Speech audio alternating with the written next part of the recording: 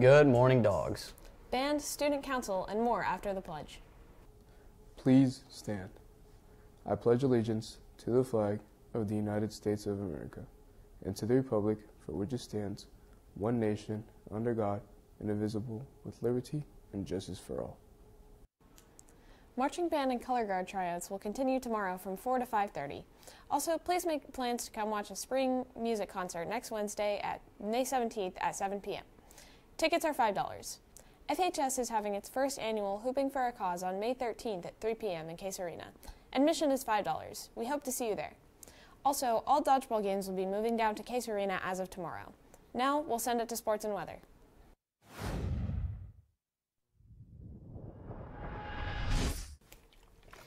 What's up, dogs? There will be a cross country call out meeting for anyone interested in running cross country next fall. The meeting will be tomorrow at 7:30 in room 403. Check in for attendance with your community teacher first, then come to room 403. Last night, the Lady Hot Dog softball team faced off against Western Boone here at home.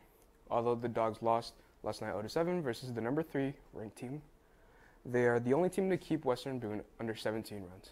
Cameron Campbell pitched 110 pitches last night with 14 strikeouts. Heather Messingill caused upsets in the infield and Emily Flores in the outfield with amazing catches. The Dogs played an amazing defense and will face the Stars again Thursday at 5:30 at Western Boone. Also last night, the varsity baseball team fell to the Stars 0-2. Jose Lopez pitched a no-hitter through six two and two-thirds and surrendered one hit and zero errors on the night. Last night, the Lady Hot Dog tennis team faced off against the Crawfordsville Athenians with the final score of 0 and 5 as a team. Number one singles Libby Pierce fought hard against a strong player, but ended up with a 2 to 6 and a 2 to 6 loss. Pierce is now 3 and 2 in conference play.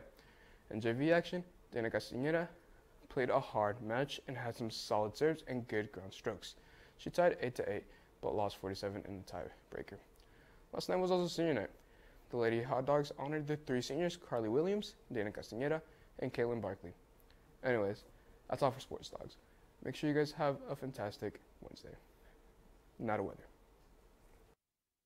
Thanks, Nelson, and good morning, dogs. For today's weather, coming into school today was in the low 50s with some wind, and around 5 p.m. it will go up to 78 degrees for the highest, and for the day being mostly sunny. Later around 8, it will reach the low 52 degrees and will be partly cloudy.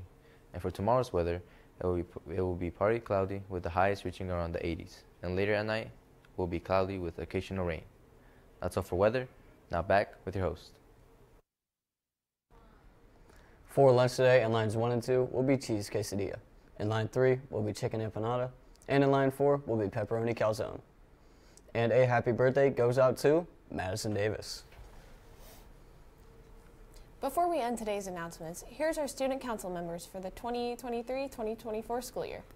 In ninth grade, Chloe Moundy, Jesse Wills, Ariel Cruz, Lakin Barton, Macy Duckworth, Caroline Queen, Denise Guerra, Luis Rafael Madera, Given West, Lily Rockhold, and Jackie Tovar And in 10th grade, Giselle Figueroa, Caleb Compton, Joanna Lozano Berrigan, Lily Cooper, Cameron Zeng, Jack Michael, Michelle Martinez Alaniz, Jasmine Osler, and Ellie Perez.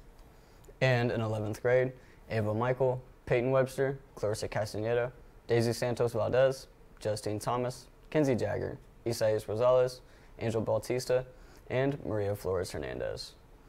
Last but not least, your senior class Jasmine Lozano Berrigan, Eli Grasham, Isao Mesa, Daphne Santos, Syra Flores, Jackie Valencia, and finally, myself. That's all for today's news, dogs. Make sure you like and subscribe, and have a great rest of your day.